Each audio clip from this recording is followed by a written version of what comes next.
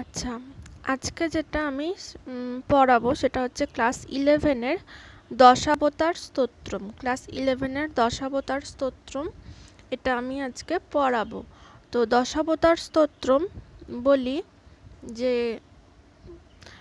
এর ভূমিকাটা আমাদের টেক্সট বইতে থার্টি ওয়ান পেজ টেক্সট বইতে খুব ভালো করেই দেওয়া আছে ভূমিকাটা। প্রত্যেকটা মানে খুব অল্প করেই যে দেওয়া আছে জিস্ট কিন্তু খুব সুন্দর দেওয়া আছে। আমি সেটা আগে, সবার আগে বলি, ভূমিকাটা কি বলা আছে? যে কবি সত্যেন্দ্রনাথ দত্ত বলেছেন, বাংলার রবি জয়দেব কবি কান্ত কোমল পদে করেছে সুরভি সংস্কৃতের কাঞ্চন কোকোনদে। কথাটা খুবই ধ্রুব সত্য। তিনি কোমলকান্ত পদাবলীর শ্রেষ্ঠ রচয়িতা তিনি হচ্ছেন কে না? কবি জয়দেব।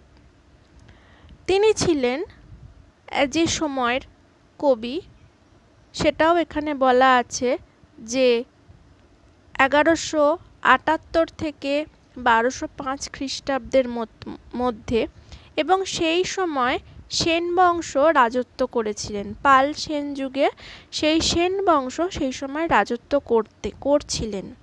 তো সেই সময় সেই রাজবংশে বা সেই বংশে তিনি একজন মধ্যমণি বা তিনি একজন নক্ষত্র স্বরূপ একজন লেখক বা কবি হিসাবে তিনি পরিচিত কাব্য কাব্যলেখক বা তিনি কবি হিসাবে একজন পরিচিত একজন নক্ষত্র হয়ে ওঠেন। তো সেই হিসাবেই বলছেন, এবং তার লেখনী অতীব মনোরঞ্জিত। তিনি প্রথমেই আমাদের মনে আসে যে জয়দেবের যে গীত গোবিন্দ, যে গীত গোবিন্দ তিনি রচনা করেছিলেন, তিনি অবশ্যই প্রচণ্ড এটা মানে তার বৈষ্ণব পদাবলীর তিনি ভক্তি গীত তিনি খুব মানে ভক্তিমূলক লেখক, লেখাতে তিনি একদম প্রসিদ্ধ ছিলেন। ভক্তিমূলক লেখাতে তিনি প্রসিদ্ধ ছিলেন এবং তিনি যে ভক্তিমূলক লেখা এবং গীতগোবিন্দ যেটা রচনা করেছিলেন, সেখানে কান্ত, কোমল এবং সেখানে যে একদম ঈশ্বরের প্রতি নিজের সমস্ত শ্রদ্ধা, ভক্তি, সমস্ত কিছু উজাড় করে দিয়ে তিনি তার সমস্ত কাব্য, স্তোত্র তিনি রচনা করতেন এবং সেই কাব্যস্তোত্রের মধ্যে অফুরন্ত কান্ত এবং কোমল যে ভাব, সেগুলো পরবর্তীকালে যখন কাব্য নিয়ে আলোচনা করব, কাব্যের যে বৈশিষ্ট্য, সেগুলো বিশেষ নিয়ে পড়লে তখন জিনিসটা কান্ত জিনিসটা কি অবশ্যই বোঝা যাবে। কিন্তু এখন আপাতত আমি শুধুমাত্র এটুকুই বলছি যে কান্ত কোমল কান্ত বলতে অনেক কিছু বোঝায়। মানে একটা কাব্য তৈরি করতে গেলে তার কিছু বৈশিষ্ট্য, তার কিছু সৌন্দর্য তার কিছু রূপ আছে। সেই রূপগুলো অবশ্যই আমাদের জানতে হবে বা জানা খুবই প্রয়োজন। কিন্তু আমাদের প্রারম্ভিক দিকটা যেহেতু দশাবতার স্তোত্রম টেক্সট পাঠটা, তা সেটাতে এত কিছু বলার দরকার নেই। শুধুমাত্র আমি এটুকুই বলছি যে কান্ত এবং কোমল তিনি পদাবলী রচনা করেছেন এবং সেটা গীত গোবিন্দ খুবই ভক্তিমূলক একটি স্তোত্র বা গান স্তোত্র বা গান এটা হচ্ছে গীতিকাব্য হিসাবেও খানিকটা এটা বেশিভাবে প্রভাব বিস্তার করে এর গীতিকাব্য তো তিনি সেই লক্ষণ সেনের যুগে, লক্ষণ সেনের সময় তিনি সেই সময়কার কবি ছিলেন। তো এই কবি জয়দেব ছিলেন রাজা লক্ষণ সেন আঠেরো, এগারোশো আটাত্তর থেকে বারোশো পাঁচ খ্রিস্টাব্দের মধ্যে তার যে সভা কবি ছিলেন, অর্থাৎ লক্ষণ সেনের সেন বংশে যখন লক্ষণ সেন রাজত্ব করছিলেন, সেই সময় রাজদরবারে তিনি একজন সভা কবি ছিলেন। তো তাহলে বোঝাই যাচ্ছে যে গীতগোবিন্দ বা জয়দেব জয়দেব কতটা পরিচিত এবং কতটা খ্যাতিমূলক একজন কবি হিসাবে তিনি অবশ্যই একজন রাজদরবারে শ্রেষ্ঠত্ব অর্জন করেছিলেন। তো সেই শ্রেষ্ঠত্ব অর্জন করার পিছনে তার অবশ্যই তার কান্ত কোমল, ভক্তিমূলক পদাবলী বিশেষভাবে গ্রহণযোগ্য এবং সেই কান্ত কোমল পদাবলী যেটা লিখেছিলেন হচ্ছে তিনি, এই যে স্তোত্রটা, দশাবতার স্তোত্র, আমরা স্তোত্রটা নামের মধ্যেই খুঁজে পাই কি? দশজন অবতার। অর্থাৎ বিষ্ণু বিভিন্ন রকমভাবে মানে দশটা রূপ নিয়ে পৃথিবীতে আব মানে এসেছিলেন। যখনই কখনো কি মানে কোনো যদার যদা যদা হি ধর্মস্য গ্লানির্ভবতি ভারত, আমরা অবশ্যই এটা ছোটো থেকেই শুনে আসছি। আবুত্থান অধর্মস্য তদাত্মানম সৃজামনহম এটা যে তিনি এটা যে বলা হয়েছে যে মহাভারতে অর্থাৎ মহাভারত বলতে গীতার গীতার একটি মহা, মহৎ একটি বাণী। তো সেই যদা যদা হি ধর্মস্য গ্লানির্ভবতি ভারত অভ্যুত্থান অধর্মস্য তদাত্মানম শ্রীরাম যখনই যুগে যুগে যত কলুষতা এসে তখনই তিনি বিভিন্ন রূপে পৃথিবীতে এসে সেই কলুষতাকে নাশ করার জন্য পৃথিবীতে এসেছেন এবং পৃথিবীকে রক্ষা করতে, সৃষ্টিকে রক্ষা করতে তিনি আবির্ভূত হয়েছিলেন তার বিভিন্ন রূপে। তো সেই বিভিন্ন রূপ অর্থাৎ তার যে দশটা রূপ নিয়ে এখানে অবশ্যই তার মোট দশটা রূপ নিয়ে এখানে কবি জয়দেব তার ভক্তিমূলক রচনায় তিনি লিখেছেন। সেটা নিয়েই তিনি এই গীতগোবিন্দ এবং গীতগোবিন্দর তে যে এই প্রথম দশাবতার স্তোত্রটা তিনি রচনা করেছেন এবং অবশ্যই স্তোত্রগুলো রচনা হয়েছিল মালব রাগে। রূপক হিসাবে রূপক এবং তালে তালে গানটা গাওয়া হয়েছিল রূপক এবং তালে তালে। এই যে রূপক এবং এটা মালব রাগে স্তোত্রগুলি অবশ্যই গাওয়া হয়েছে এবং গানটা এখানে অবশ্যই আমি টোটালটা পড়লে প্রথমে প্রারম্ভিকভাবে কবির সম্পর্কে যে পরিচিতি দেওয়া রয়েছে, যে কবি পরিচিতিটা এখানে ভূমিকা হিসেবে যেটা দেওয়া রয়েছে যে লক্ষণ সেন নেট সভাকবি ছিলেন এবং এগারোশো আটাত্তর থেকে বারোশো পাঁচ খ্রিস্টাব্দের মধ্যে তিনি একজন কবি ছিলেন। এবং এর পরে চলে আসছে যে খ্রিস্টীয় দ্বাদশ শত শতাব্দীতে বীরভূম জেলার কেন্দুবিল্ব বা কেঁদুলি গ্রামে তিনি জন্মগ্রহণ করেন। এটাও আমরা জানতে পাচ্ছি যে তার যে ভূমিকা থেকে তার প্রারম্ভিক খুব সুন্দরভাবে এখানে খুব অল্প কথা এখানে দেওয়া রয়েছে। ওই জন্য মানে আমার বেশ ভালোই লাগল ভূমিকাটা। আমি সেই জন্য ভূমিকা থেকেই আমি বলছি যে খ্রিস্টীয় দ্বাদশ শতাব্দীতে বীরভূম জেলার কেন্দুবিল্ব বা কেঁদুলি গ্রামে তিনি জন্মগ্রহণ করেন। তার পিতার নাম ছিল ভোজদেব। তার পিতার নাম ছিল ভোজদেব এবং মাতা ছিলেন হচ্ছে বামা দেবী তার মাতা ছিলেন বামা দেবী এবং তিনি তার বিবাহ করেছিলেন। কাকে না পদ্মাবতীকে বিবাহ করেছিলেন, তার স্ত্রীর নাম পদ্মাবতী। এবং এইটা যে বলি যে তিনি গীত গোবিন্দ রচনা করেছেন, আমি তার পরিচয় বলতে বলতেই তাকে মানে গীত গোবিন্দ ছাড়া তার পরিচয়টা অসম্পূর্ণই থেকে যায়। সেই জন্য গীত গোবিন্দ বলতে বলতেই আমি তার পরিচিত পরিচিতি। তার পরিচিতিটা আমি বললাম যে তিনি কেন্দ্র কেন্দ্র কেন্দ্রবিলবু বিল বিলবো নামে এবং কেঁদুলি গ্রামে তিনি জন্মগ্রহণ করেন। আসলে পরিচয় ছাড়া মানুষ কখনোই তার ডিটেলস বা ব্যক্তিগত জীবনটা কখনোই উঠে আসে না। তার পরিচিতিটা এইভাবেই তিনি গীতগোবিন্দের রচয়িতা। কান্ত কোমল পদাবলী গীতগোবিন্দের রচয়িতা। প্রথমেই সত্যেন্দ্রনাথ দত্ত বলেছেন, কারণ তার কৃতিত্বই তার পরিচয়কে আরও মানে প্রকট করে তুলেছে, এটাই হচ্ছে তার মূল কথা। তো সে হিসাবে বলি যে জয়দেব কবি রচিত গীত, গীতিকাব্য হলো গীতগোবিন্দ এবং কাব্যটি বারোটি স্বর্গে চব্বিশটি অষ্টপদী গান আছে এখানে। সেই জন্য এখানে গীতিকাব্য মানে কাব্যটা গান গেয়ে শোনানো হয় এবং আশিটি শ্লোক আছে অবশ্যই। এখানে কাব্যটা তাহলে আমি আবার বলছি যে গীতগোবিন্দটা যে রচনা করা হয়েছিল, সেখানে আছে টোটাল বারোটা স্বর্গ আছে। কটা স্বর্গ আছে? বারোটা স্বর্গ আছে আচ্ছা অষ্টপদী গান আছে চব্বিশটা এবং আশিটা আছে শ্লোক। এই হচ্ছে গেল। এবং স্তোত্রটি গীতগোবিন্দ থেকে গৃহীত।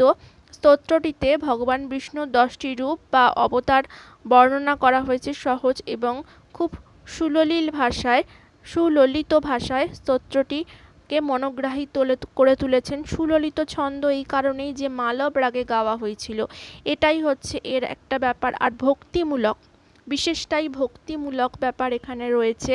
এবং তিনি দশজন যে অবতারকে তিনি আমাদের কাছে পেশ করেছেন বা আমাদের কাছে বর্ণনা করেছেন, তুলে ধরেছেন, এর পিছনেও তিনি যে গীত গোবিন্দ, এই দশটি অবতার অবতার মানে অবতার তিনি গীত গোবিন্দতে তুলে ধরেছেন। কিন্তু অ্যাকচুয়াল বিষ্ণুর ছজন অবতার আমরা অবতার তত্ত্ব আমরা পেয়ে থাকি। বিষ্ণুর ছটি অবতার তত্ত্ব আমরা পেয়ে থাকি। সেটা হচ্ছে পুরুষ অবতার তত্ত্ব পুরুষ অবতার আচ্ছা গুণাবতার, লীলাবতার, যুগাবতার, মন্নান্তরাবতার আর শক্তাবেশ অবতার।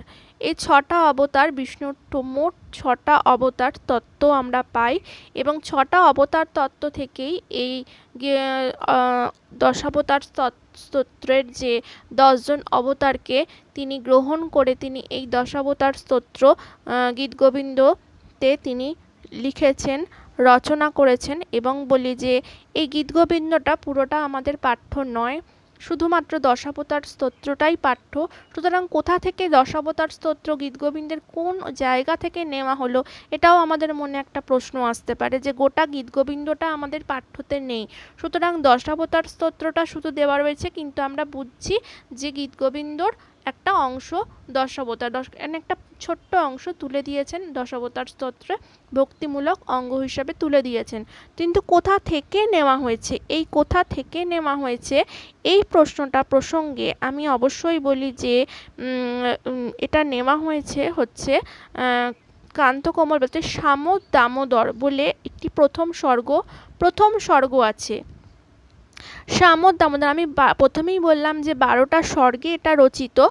এই গীতগোবিন্দ বারোটা স্বর্গে রচিত, তার মধ্যে প্রথম স্বর্গের নাম হচ্ছে শ্যামদ দামোদর।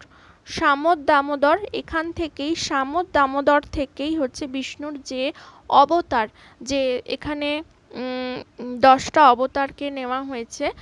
সামদ দামোদর থেকে দশটা অবতার, দশ অবতার স্তোত্রম নেওয়া হয়েছে এবং সরাসরি এবার আমি বিশেষ কিছু না বলে সরাসরি আমি যে ছোট ছোট কিছু কথা বললাম, প্রথমে আমি তার পরিচিত তার খ্যাতি নিয়ে তার পরিচিতিটা বললাম এবং তার রচনা সম্পর্কে বললাম বিখ্যাত রচনা সম্পর্কে এবং বিখ্যাত রচনাটা কীভাবে মানে কী কী নিয়ে তৈরি প্রস্তুত হয়েছে সেটা বললাম। কটি স্বর্গ, কটি গান, কটি শ্লোক ইত্যাদি যা আছে এবং দশটা যে দশাবতার স্তোত্রর যে স্তোত্রের দশজন অবতারের যে কীভাবে এলো সেখান থেকে সেটাও আমি বললাম।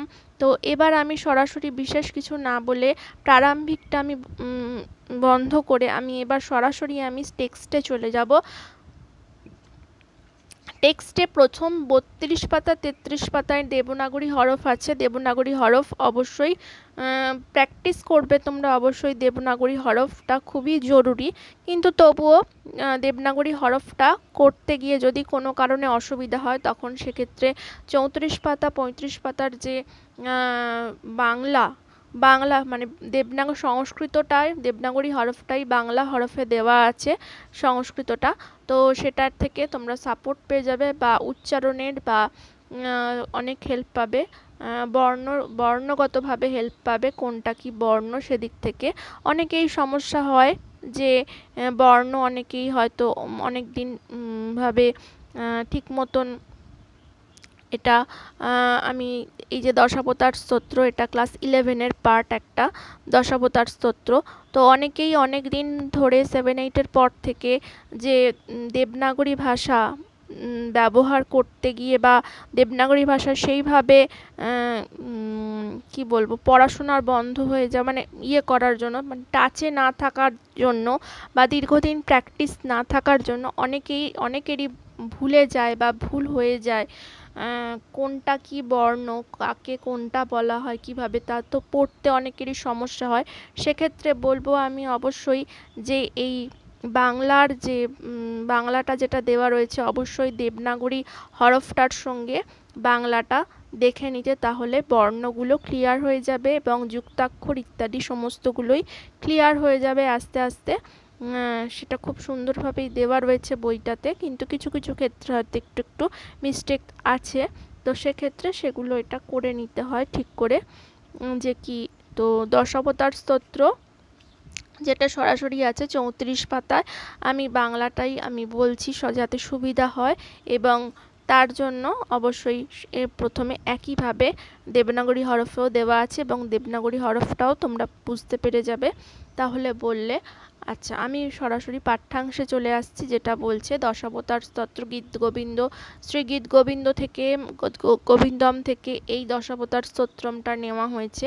পাঠ্য বই অনুযায়ী আমি একদম বলছি যে, কি বলছে যে, প্রলয় পয়োধি জলে ধৃত বানাসী বেদং, বিহিত বহিত্র চরিত্রম চরিত্রম অখেদম। কেশব ধৃত মিন শরীর জয় জগদীশ হরে। আচ্ছা আমি এটুকু আগে বলি যে চারটে লাইন, প্রথম চারটে লাইন বলা হয়েছে যে কি, না, প্রলয় পয়োধি জলে, প্রলয়কালীন, যে পয়োধি জলে, অর্থাৎ কি বলছে, না পয়োধি জলে, যে সমুদ্রের যে জল, সেটা হচ্ছে পয়োধি জল বলেছে যে সাগরের জলে, মহাসমুদ্রের জলে, পয়োধি জলে সমুদ্রের যে জল, মহাসমুদ্রের জল মানে উথাল পাথাল করছিল। অর্থাৎ প্রলয়কালে প্রলয়কাল, আমাদের মনে আসতে পারে যে প্রলয়কাল, এর আগেও আবার প্রলয় হয়েছে। সৃষ্টির প্রথমেই দিকেই প্রলয়কাল হয়েছে, এরকমভাবে আমাদের হয়তো বুঝতে হচ্ছে। কিন্তু এটা মনে রাখতে হবে অবশ্যই যে এটা যখন দেবাসুরের যখন যুদ্ধ হয়েছিল বা দেবাসুরের মধ্যে যখন অমৃত নিয়ে অমৃত মন্থনের সময় দেবাসুরের সেই সময় একটা বিরাট উথাল পাথাল হয়েছিল। সেই সময়কার সেই সমুদ্রকে লক্ষ্মী লাভ করা সেই সময় সেই সময় কথাই এখানে বলা হয়েছে যে প্রলয়কালে পয়োধি জলে ধৃত বানাসী। মানে যখন প্রচণ্ডভাবে মানে ধৃত বানাসী যখন প্রচণ্ডভাবে যে ধৃত বান অসি মানে প্রলয়কালে সমুদ্র যখন প্রচণ্ড উত্তাল হয়েছিল, ঠিক সেই সময় ধৃতবান অসি ধৃতবানাসী মানে ধৃতবান অসি মানে অর্থাৎ হচ্ছে, কি বলছে না ধৃতবান ধৃতবান হচ্ছে যে ধারণ করেছে যে অসি অর্থাৎ তরবারি ধারণ করেছে। এরকম বলা হয়েছে যে বেদং বিহিত, বেদং বিহিত, বহিত্র, চরিত্রম অখেদম। আচ্ছা বেদং বিহিত, বহিত্র। বেদং বিহিত, বহিত্র, চরিত্রম অখেদম। যেটা বলছে যে অখেদম মানে সবার আগে বলি যে অস মানে সম্পূর্ণটা। পূর্ণাঙ্গ যে রূপটা সেই বেদকে কি করেছিল না উদ্ধার করেছিল। প্রচণ্ডভাবে যখন বেদ যখন ভেসে যাচ্ছিল। বেদ যখন কি হচ্ছে না যে ওই প্রচণ্ড মন্থনের সময়, সাগরের অপ মানে প্রচণ্ড মন্থনের সময় যখন ভয়াবহভাবে যখন বেদ বেদ হচ্ছে ব্রহ্মার মুখ থেকে নিঃসৃত একটি বাণী বা বেদ হচ্ছে ব্রহ্মারই স্ত্রী রূপে আমরা অনেক সময় মা সরস্বতীকে চিনি। তো মা সরস্বতী বা সেই যিনি, সেটা যখন তিনি ভেসে সেই সময় কি করেছিলেন না সেই সময় উদ্ধার করা হয়েছিল সেই বেদকে। একদম বেদ বহিত্র চরিত্রম অক্ষেদম মানে গোটা পূর্ণাঙ্গ যে বেদকে পুরো সংসার সাগর থেকে সংসার সাগর, সাগরের জন্য সেই বেদটা কী জন্য রচিত হয়েছিল? বেদটা মুখনিসৃত একটি বাণী। মুখনিসৃত বাণী এবং সেটা শুনে শুনে প্রথম দিকে মনে রাখা হতো বেদকে। তো বেদ এমনই একটি ইতিহাসের একটা পর্যায় এবং সেটা পর পরস্পর কি হয়েছে না আমাদের ঐতিহ্যকে বহন করে এনেছেন। সনাতন যে ঐতিহ্যকে অবশ্যই বহন করে এনেছে বেদ, সেইটাকে তিনি কি করেছেন না সেটাকে রক্ষা করার দায়িত্ব নিয়েছিলেন স্বয়ং ভগবান বিষ্ণু। যখন সৃষ্টি মানে কারণ গোটা বেদটা রচিতই হয়েছিল সৃষ্টির জন্য। এবার যেটার কারণ, এবার সৃষ্টির কারণ হচ্ছে বেদ।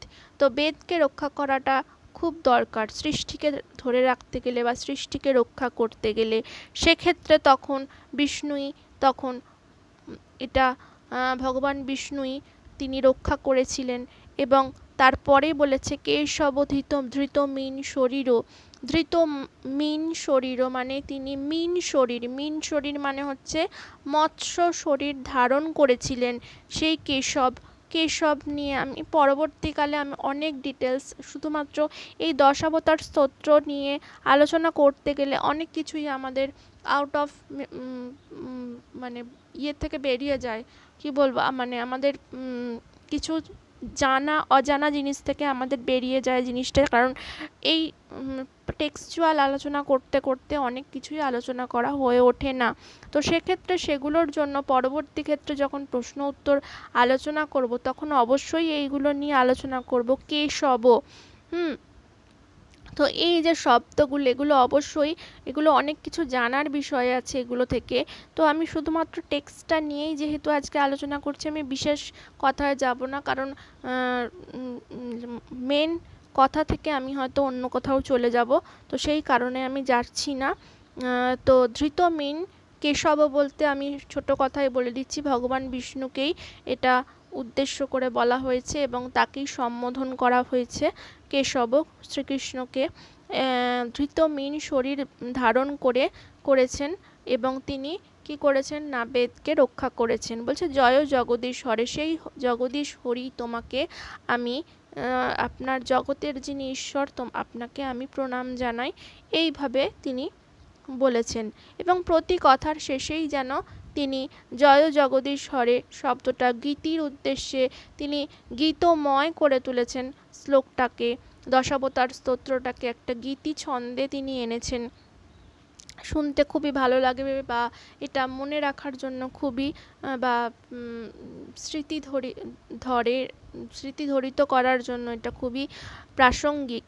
এবং এটা হয়তো পড়াশোনার ক্ষেত্রেও খুব প্রযোজ্য যে কোনো কিছু জিনিস বলতে গেলে বা যেটা মনে রাখতে গেলে যেটা সমস্যা হয়, যেটা গানের মাধ্যমে বা কোনো কিছুর মাধ্যমে, যদি একটা ছন্দের মাধ্যমে তুলে ধরা হয় এটা অবশ্যই মনে রাখতে অনেক বেশি সহজ হয়ে ওঠে।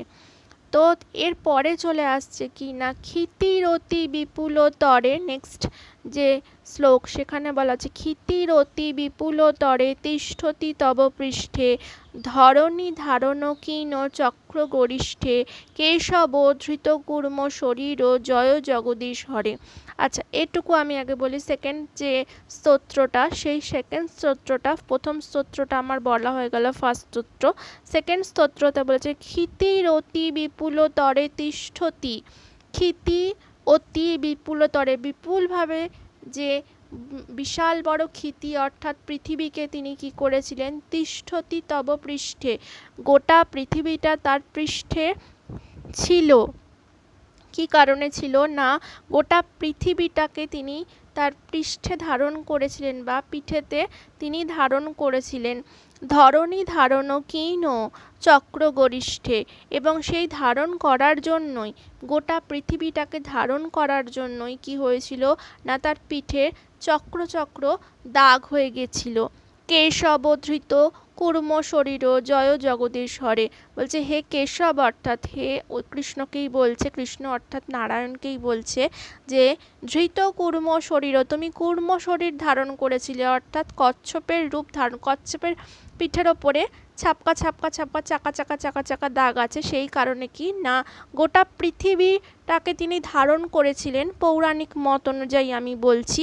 সে গোটা পৃথিবীটাকে ধারণ করেছিলেন এবং সেই কারণেই তার পিঠে ওরকম চক্রে চক্র মতো দাগ আছে এবং বা পিঠের যে ওই শক্ত খোলকটা চাকার মতন হয়ে গেছে, গোল চাকার মতন হয়ে গেছে, সেই চাকার মতন হয়ে যাওয়ার জন্য সেই কুর্মরূপ অর্থাৎ কচ্ছরূপ কচ্ছপ রূপ ধারণ করেছেন। সেই তোমার জগদীশ হরে জয় তোমার জয় কামনা করি। তোমার জয় হোক। জগদীশ্বরে সে আবার বলেছে। তাহলে আমি প্রথম স্তোত্রতেই জানলাম যে তার প্রথম বিষ্ণুর প্রথম অবতার ছিল কি? না, মিন অর্থাৎ মৎস্য। মৎস্যরূপ ধারণ করে তিনি বিষ্ণু প্রথম অবতার এসেছিলেন। বিষ্ণুর প্রথম অবতার হিসেবে এসেছিলেন কীভাবে? না, মিন রূপে মৎস্যরূপে নেক্সট এসেছিলেন, দ্বিতীয়বারে তিনি এসেছিলেন কি? না, কুর্ম বা কচ্ছপ নামে। তৃতীয়বার আমি আবার বলি যে তৃতীয় শ্লোকেতে কি বলা আছে? না বসতি দর্শন শিখরে ধরণী তব লগ্না শশী শশিনী কলঙ্ক কলেব কলঙ্ক কলেব নিমগ্না কেশব ধৃত শুকর রূপ জয় জগদীশ্বরে। তো আমি তৃতীয় শ্লোকে আমি আবার বলছি এটা যে বসতি মানে বাস করে যে দশন শিখরে দশন শিখরে মানে তার দাঁত, দাঁতের শিখরে মানে দাঁতের একদম ওপরের দিকটাতে দাঁতের শিখরে ধরণী তব লগ্না মানে ধরণী, ধরণীকে ধরণী সংলগ্ন হয়েছিল তার দাঁতের শিখরেতে, তার ধরণী অর্থাৎ পৃথিবীকে, সৃষ্টিকে তিনি বারবার ধরেছেন। আমি বারবার বলতে চাইছি, সৃষ্টির কারণ বেদকে তিনি রক্ষা করেছেন, পৃথিবীকে তিনি রক্ষা করেছেন তার পিঠে রেখে। এরপরে আবার আসছে যে দর্শন শিখরে, তার দর্শন অর্থাৎ দাঁতের ওপরে ধরণীকে লগ্ন করে, ধরণীকে সংলগ্ন করে তিনি কি করেছিলেন? ধরেছিলেন। শশিনী কলঙ্ক লেব নিব নিমগ্না শশিনী কলঙ্ক লেব অর্থাৎ কলঙ্ক। শশী, অর্থাৎ যে চাঁদের মধ্যে যে কলঙ্ক থাকে, যেন মনে হচ্ছে এখানে কেমন একটা রূপক ধরেছে, খুব সুন্দরভাবে একটা তুলনা করা হয়েছে যে শশীর কলঙ্কের সঙ্গে, অর্থাৎ চাঁদের কলঙ্কের সঙ্গে তুলনা করা হয়েছে পৃথিবীর এবং চাঁদের সঙ্গে তুলনা করা হয়েছে যে দাঁতের।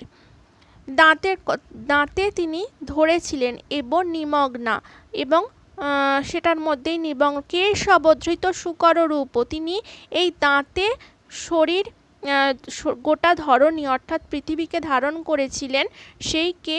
না শুকর রূপ ধরে তিনি এসেছিলেন। তৃতীয় তার অবতার কি জানছি? না ধৃত শুকর রূপ। তিনি শুকর রূপ ধারণ করে এসেছিলেন। জয় জগদীশ হরে। সেই জগদীশ হরে তোমাকে তোমার জয় হোক। তাহলে আমি জানলাম যে তৃতীয় অবতার তিনি এসেছিলেন যে শুকর রূপে। শুকরের কি বলছে না? শুকরের দাঁত এবং দাঁতের অগ্রভাগে, দাঁতের একদম শিখরে তিনি পৃথিবীকে ধারণ করেছিলেন। পৃথিবীটা ঠিক তার কলঙ্ক, চাঁদের কলঙ্কের মতন শোভা পাচ্ছে এবং দাঁতটা যেন তার কি হচ্ছে না? চাঁদের চাঁদের মতন লাগছে। তো এভাবেই তিনি বারংবার এসেছেন সৃষ্টিকে রক্ষা করেছেন। তাহলে প্রথম এসেছেন আমি আবার বলছি মিন অর্থাৎ মৎস্যরূপে পৃথিবীতে এসেছিলেন কে? নাম মৎস্যরূপে পৃথিবীতে এসেছিলেন বিষ্ণুর প্রথম অবতার মৎস্য। দ্বিতীয় অবতার হচ্ছে কুর্ম বা কচ্ছপ। তৃতীয় অবতার শুকর। এবং চতুর্থ শ্লোকে আসছে কি? চতুর্থ স্তোত্রতে যেটা আসছে সেটা বলছে যে, তব কর কর কমল বরে নখরম অদ্ভুত শৃঙ্গং, দলিত হিরণ্যকশিপু তনুভৃঙ্গং ভৃঙ্গম, কেশব ধৃত নরহরি রূপ জয় জগদীশ হরে বলছে, তব কর কমল বরে, তার কর কমল, অর্থাৎ হাতের যে তালু, কর কমল, সেটা কমলের সঙ্গে তুলনা করা হয়েছে, অর্থাৎ পদ্মের সঙ্গে তুলনা করা হয়েছে। কর কমল বরে নখম অদ্ভুত শৃঙ্গ, শৃঙ্গং, নখ এবং তার শৃঙ্গ। যে অদ্ভুত তার নখ এবং ছুঁচালো তীক্ষ্ণ শৃঙ্গ একটা অদ্ভুত রকম।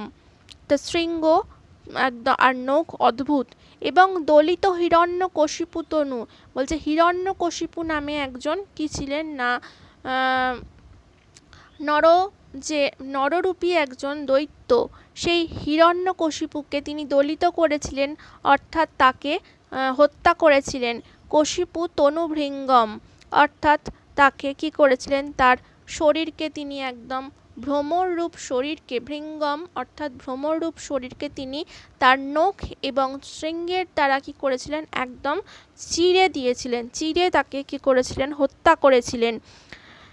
সেই হিরণ্যকশিপুর ঘাতক ছিলেন হচ্ছেন কে? না নরহরি বা নৃসিংহদেব আমরা যাকে নৃসিংহ বলি, সেই নরসিংহ। বলছে কেশব ধৃত নরহরি রূপ, নরহরি অর্থাৎ নর এবং হরি। ধৃত নরহরি রূপ মানে নরহরি রূপ অর্থাৎ নৃসিংহদেব জয় জগদীশ হরে। বলছে, সেই তোমাতেই, সেই চতুর্থ অবতার কে না? চতুর্থ অবতার হচ্ছে নৃসিংহদেব, বিষ্ণুর চতুর্থ অবতার নৃসিংহদেব। সেই নৃসিংহদেব তোমাকে, তোমার জয় হোক, সেই তুমি, রূপধারী বিষ্ণু বা ভগবান জগদীশ হরে তোমার, তোমাকে, তোমার জয় হোক। তাহলে চতুর্থ অবতার হচ্ছে নৃসিংহদেব এবং পঞ্চম স্তোত্রতে আমি আসছি, সেটা হচ্ছে বলছে কি, না ছলসী বিক্রমণে বলিম অদ্ভুত বামন, পদ নখ নিরজনিত জনপাবন কেশবধৃত বামন রূপ ও জয় জগদীশ হরে বলছে কি ছলয়সী বিক্রমণে হুম, বলিম অদ্ভুত বামন।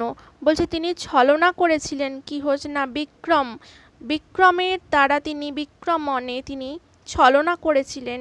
কীভাবে? না বলিম অদ্ভুত বামন। ছলনা করে তিনি বলির কাছে এসেছিলেন, বলি বলি রাজার কাছে এবং তাকে কি করেছিলেন? অদ্ভুত এক বামন রূপ ধারণ করেছিলেন এবং পদ নখ নিরজনিত জনপাবন এবং তিনি কি করেছিলেন? না পদ নখ নির মানে জলের, তিনি তাকে কি করেছিলেন? একটা পা বলির মাথার ওপর, প্রথম পা তিনি রেখেছিলেন যে স্বর্গেতে, দ্বিতীয় পা রেখেছিলেন তিনি মর্তেতে এবং তৃতীয় পা রেখেছিলেন তিন নম্বর যে পাটা তিনি রেখেছিলেন বলির মাথার ওপরে। এভাবে তিনি পদনখ নিরজনিত জন পাবন এবং তিনি কি করেছিলেন? এবার সেটা একদম দিয়ে বামনের মাথার ওপর দিয়ে কি করেছিলেন? বামনকে পুরো একদম পাতালে পৌঁছে দিয়েছিলেন বা পাতালে প্রবেশ করিয়ে দিয়েছিলেন। তো এখানে এটাই বলা হয়েছে যে, কি না, এখানে তিনি বারবার বলেছেন যে তিনি ছলনা করেছিলেন এবং তিনি তার পদ নখ নিরজনিত নখ নিরজনিত মানে পায়ে, যে পায়ের নখে, যে পায়ের নখ নির নির জনিত যে পায়ের পা, একদম পায়ের দ্বারা তাকে একদম জনপাবন, একদম তাকে হত্যা করেছিলেন। যে পদ নখ নখ, নখের জলে কি করেছিলেন না, জগৎকে কি করেছিলেন, পবিত্র করেছিলেন, পাবন অর্থাৎ পবিত্র করেছিলেন, জনপাবন। এইভাবে তিনি হত্যা করেছিলেন। সেই কেশব, সেই বামন রূপী কেশব কেশব তোমাকে প্রণাম জানাই তো সেটা এখানে এভাবেই বলেছে যে, তারপরে নেক্সট চলে আসছে যে, ক্ষত্রিয় রুধিরময় জগত অপগত পাপং। ক্ষত্রিয় রুধিরময় ক্ষত্রিয় রুধিরময় মানে ক্ষত্রিয়ের রক্ত বহন করছে। রুধি হচ্ছে রক্ত, সে ক্ষত্রিয়ের যে রক্ত বহন করছে জগত অপগত পাপং।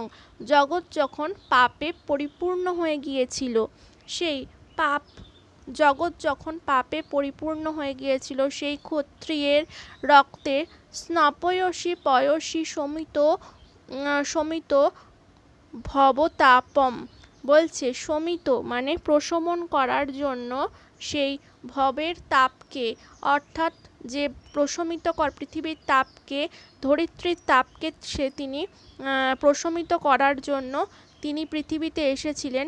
কেশব ধৃত ভৃগুপতিকা রূপ, সে ভৃগুপতি রূপের। ভৃগু, ভৃগুপতি রূপ বলতে কার কথা বলা হয়েছে? না, ভৃগুপতি রূপ বলতে বলা হয়েছে যে ভৃগুপতি রূপ ভৃগুপতি রূপ হচ্ছে পরশুরামকে বলা হয়েছে, ভৃগুপতি। তো পরশুরামের রূপ ধরে তিনি এসেছিলেন এবং তিনি সেই জগতের ক্ষত্রিয় রুধিরময় জগৎ পাপ জগত পাপ গত পাপ গত জগত জগদপ গত পাপং, জগৎ অপগত পাপং। আচ্ছা জগৎ যখন পাপে পরিপূর্ণ হয়ে গেছিল, তখন সেই তিনি জগৎকে প্রশমিত করেছিলেন এবং তিনি কি করেছিলেন? না স্নপয়তি স্নান করিয়ে কি করেছিলেন? যে তাকে ভাব যে পৃথিবীর যে সমস্ত পাপ তাপকে তিনি নষ্ট করেছিলেন, তিনি কী রূপে এসেছিলেন তখন? না, ষষ্ঠ অবতার ছিল তার, যে তিনি এসছিলেন, ষষ্ঠ অবতার এসছিলেন হচ্ছে ভৃগুপতি অর্থাৎ পরশুরাম বেশে তিনি এসেছিলেন। এরপর চলে আসছে কি না, বিতরসী দীক্ষুরণে দিকপতি কমনীয়ং দশমুখ মৌলি বলি রমণীয়ম কেশ ধৃত রাম শরীর জয় জগদীশ্বরে। বলছে বিতরসী বিতরসী মানে তিনি বিতরণ করেছিলেন। তিনি বিতরণ করেছিলেন বিতরসী অর্থাৎ তিনি বিতরণ করেছিলেন এবং বিতরণ করেছিলেন যে, কি বলছে যে দিক্ষু, রণে মানে দিকে দিকে তিনি যুদ্ধের দামামা বাজিয়েছিলেন এরকমইভাবে যে দিকপতি কমন নিয়ম এবং দিকপতিগণকে গণের গণ যেটা কামন, কামনা করেছিলেন কমন নিয়ম যেটা কামনা করেছিলেন দিকপতিগণ সেরকম বিতয়সী, সেই দিকে দিকে তিনি বিতরণ করেছিলেন। দিকপতিগণ যেটা কামনা করেছিলেন, সেটা তিনি দিকে দিকে ছড়িয়ে দিয়েছিলেন। অর্থাৎ দিকে দিকে বলতে আমরা সাধারণত চার দিক বুঝি, কি উত্তর, দক্ষিণ, পূর্ব, পশ্চিম, কিন্তু তা না। আমাদের দিক হচ্ছে দশটা, সেটা আমি পরবর্তীকালে আমি সমস্ত নোটস যখন দেবো, আমি দিয়ে দেবো দশটারও ঈশান, অগ্নি নৈরিত ইত্যাদি। তো তিনি সেই দিকে দিকে ছড়িয়ে দিয়েছিলেন। সমস্ত মানে মুখ্য যে তার ইচ্ছা মানে দিকপতিদের যে ইচ্ছা ছিল সেটা পাওয়ার জন্য। কি পাওয়ার ইচ্ছা ছিল সেটা এবার বলি, যে দশমুখ মৌলি মৌলি বলি মানে দশ মুখ আছে, এরকম মৌলি বলি। মানে তাকে বলি চেয়েছিলেন। দশ মুখ আছে এমন একজন মানুষের বলি চেয়েছিলেন, দশটা মাথা চেয়েছিলেন, দশটা দিকে তিনি ছড়িয়ে দিয়েছিলেন। রমণীয়ম, খুব ভালোভাবে অর্থাৎ আমরা বুঝতেই পারছি দশ মুখ একমাত্র রাবণেরই আছে। তাহলে রাবণকে রামচন্দ্র হত্যা করেছিলেন এবং তার দশটা মুখ দশ দিকে তিনি ছড়িয়ে দিয়েছিলেন এবং তাদের কামনা পূরণ করেছিলেন। সেই রামচন্দ্র বলছে কেশব ধৃত রামচন্দ্র রাম শরীরও জয় জগদীশ হরে বলছে, কেশব সেই ধৃত রামচন্দ্র, রামচন্দ্রের শরীর ধারণ করে কি করেছিলেন? না শরীর ধারণ করে জয় করে তিনি দশ দিকপালের অর্থাৎ দশ দিকপতির কামনা পূরণ করেছিলেন করার জন্যই এবং পৃথিবীতে আবির্ভূত হয়েছিলেন সপ্তম অবতার হিসাবে রামচন্দ্র হয়ে। জয় জগদীশ্বরে সেই জগদীশকে প্রণাম জানাই। এরপরে চলে আসছে যে অষ্টম শ্লোক অষ্টম শ্লোক বলছে যে, অষ্টম শ্লোক বলছে কি? না, বহসি, বপুষি বিশদে বসনং বহসি, বপুষি বিশদে বসনং জলধাভং হলহতি ভীতি, মিলিত যমুনাভম, কেশব ধৃত হলধর রূপ অর্থাৎ কি বলছে? না হলধর রূপ জয় জগদীশ্বরে বহসি বপুষি মানে অনেক দেহ। দেহের কত দেহেতে তিনি কি করেছিলেন? যে বিশদে বসনং জলধাবং জলধাবং বসন, অর্থাৎ হচ্ছে বসন বস্ত্র এবং জলধাবং, জলধ যুক্ত আভং। জলদ মানে আমরা কি? জলকে ধারণ করে যে, অর্থাৎ মেঘকে বলা হয়েছে। জলদ আভং, আভা। মেঘের যে আভা, তাকে জলধাবং বলেছে। হলহতি ভীত মিলিতা যমুনা ভং যমুনা ভম তাহলে হচ্ছে কি বলছে? হলহতি। হল হল অর্থাৎ হচ্ছে লাঙল ধরেছিলেন। লাঙল ধরেছিলেন এরকম। লাঙলের ভয় ভীত হয়ে যমুনা জল যখন ভীত হয়েছিল, অর্থাৎ যে রং ধারণ করেছিল সেই রং, জলধাভং, অর্থাৎ সেই নীল বর্ণ, নীল বসন ধারণ করেছিলেন শরীরে। এরকমভাবে তিনি কেশব, সেই কেশব অর্থাৎ কৃষ্ণ, অর্থাৎ ধৃত হলধর রূপ। ধৃত হলধর রূপ মানে হল ধারণ করেছিলেন যিনি।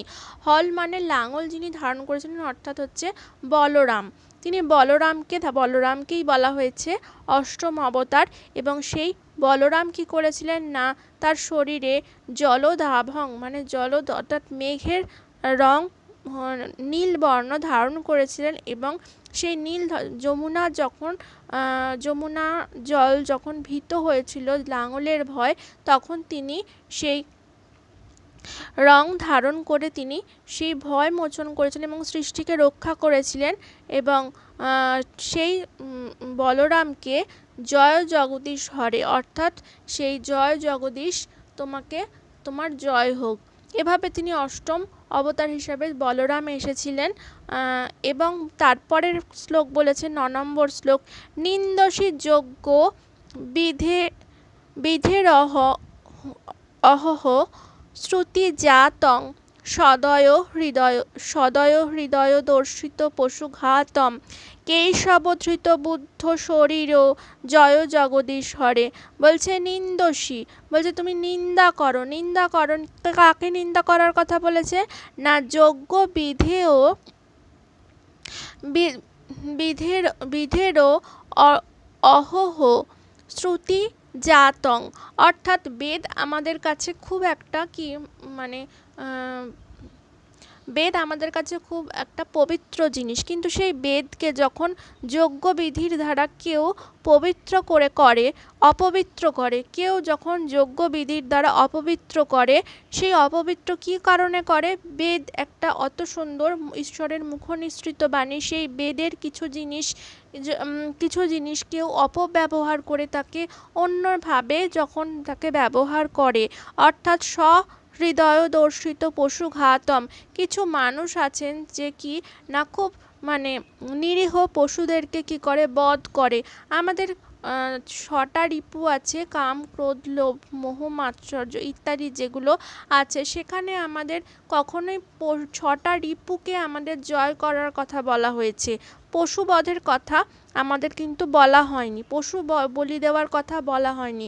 যে ছাগ বলি মানে ছটা, আমাদের রিপু বলি দেওয়ার কথা বলা যায় কিন্তু তা না করে পশু বলি দেওয়া হয়। নিরীহ পশুদের যে বলি দেওয়া হয়, সেই পশু বলির রূপ যেই হিংসাত্মক যে ব্যাপারটাকে, সেটাকে রক্ষা করার জন্যই সে কী করেছিলেন? না কেশব, ধৃত বুদ্ধ শরীর বুদ্ধ শরীর ভগবান বিষ্ণু বুদ্ধ শরীর ধারণ করে পৃথিবীতে এসেছিলেন এবং তিনি রীতিমতো নিন্দা করেছিলেন এই যজ্ঞ বিধে বিধিকে, যেটা কিনা বেদকে রীতিমতো কলুষিত করছে। একটা ঈশ্বরের মুখনিসৃত বাণী, সেখানে সেই শ্রুতি শ্রুতি অর্থাৎ সে সময় কানে শুনে শুনে মনে রাখতে হতো, মুখনিসৃত বাণী কানে শুনে শুনে মনে রাখতে হতো, সেই শ্রুতিকে তিনি কী করেছিলেন? না সম্পূর্ণভাবে তিনি নিন্দা করে এবং সেই নিরীহ পশুদেরকে রক্ষা করেছিলেন, যে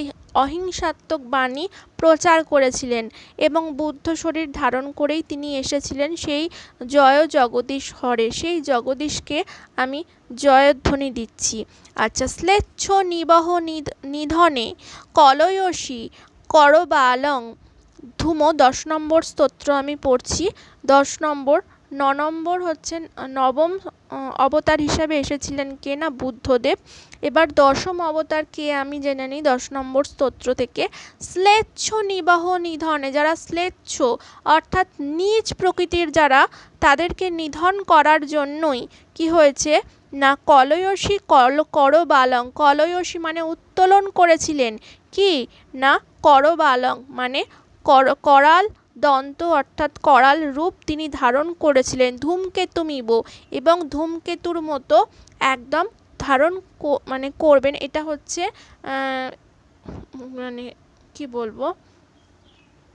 আমাদের কলিযুগের কথা বলা হয়েছে যে ধূমকেতুর মতো কিমবি করালম হ্যাঁ?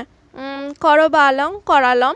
মানে তিনি কর, করাল রূপ ধারণ করেছিলেন এবং তিনি কেশবধৃত কল্কি শরীরও জয় জগদীশ্বরে তিনি পুরুষ শরীর, একজন অবশ্যই কল্কি একজন পুরুষ শরীর রূপ ধারণ করেছিলেন এবং সেই পুরুষ শরীরটা কেমন ছিল না, ধূমকেতুর মতন একদম জল জল করছে যেন এসে সমস্ত কিছু ছাড়খাড় করে দেবে সেরকম একটা এবং করাল তিনি করবালং মানে তিনি তার নিজের হাতে অসি ধরেছিলেন। দে ধরেছেন এবং তিনি শ্লেচ্ছ যারা নীচ অত্যন্ত নীচ তাদেরকে ধ্বংস করার জন্যই তিনি বিষ্ণু আবার পদার্পণ করে তিনি কি করেছেন না কলিযুগের যে নীচ মানুষদের হাত থেকে সৃষ্টিকে ধ্বংস করার জন্যই তিনি পৃথিবীতে এসেছেন বা এটাই বলা হয়েছে এখানে, সেই জগদীশ তোমাকে প্রণাম জানাই। এরপর চলে আসছে শ্রী জয়দেব কো, বেরিদ, মুপোদিত, মুদারং। আচ্ছা শ্রীনু, সুখদং, শুভদং, ভবসাগরম। কেশবধৃত দশবিধরূপ জয় জগদীশ্বরে কি বলছে? শ্রী জয়দেব কো। শ্রী জয়দেব কবে? ইদম, উদিত, উদিতম, উদারং। আচ্ছা মানে শ্রী জয়দেব রচিত যে উদার যে এই গ্রন্থ, গীতিকাব্য, অর্থাৎ কি? না, এই গীত গোবিন্দ। শৃণুং শৃণু মানে শোনো, সুখদং, শুভদং, ভবসারম। বলছে, ভবের যে সারবস্তু এখানেই আছে, তিনি সুখ এবং শুভ অবশ্যই দান করেন। কেশবধৃত দশ বিধরূপ। এবং তিনি এই, সেই কেশব অর্থাৎ এখানেই তিনি দশটা রূপ ধারণ করেছেন। জয় জগদীশ হরে, অর্থাৎ জগদীশ তোমার জয় হোক। এটাই দশাবতার স্তোত্রের টোটাল এগারোটা স্তোত্র দিয়েছে। লাস্টে শ্লোকটা তিনি আবার করে তিনি জয়ধ্বনি দিয়েছেন এবং আবার করে তিনি মঙ্গল কামনার জন্য তিনি শ্রী বিষ্ণুর পাদপদ্ম কামনা করেছেন। এগারো নম্বর শ্লোক, কিন্তু প্রথম দশটা শ্লোকে পরপর পরপর দশজন অবতারের কথা বলা হয়েছে এবং খুব ছোট্ট ছোট্ট আকারেই খুব সুন্দরভাবে একদম গীতির আকারে হ্যাঁ মালবরীতিতে তিনি পরিষ্কার মানে বলেছেন এবং খুব সুন্দর করে, তাহলে আমি আবার দশটা যে অবতার আমি বলে দিচ্ছি। প্রথম অবতার হচ্ছে কে না, মীন রূপে এসেছিলেন মৎস্য। দ্বিতীয় অবতার কুর্ম অর্থাৎ কচ্ছপ। তৃতীয় অবতার হচ্ছে শুকর। চতুর্থ অবতার হচ্ছে নরসিংহদেব বা নৃসিংহদেব এবং হচ্ছে পঞ্চম হচ্ছে বামন এসেছিলেন, বামন রূপে।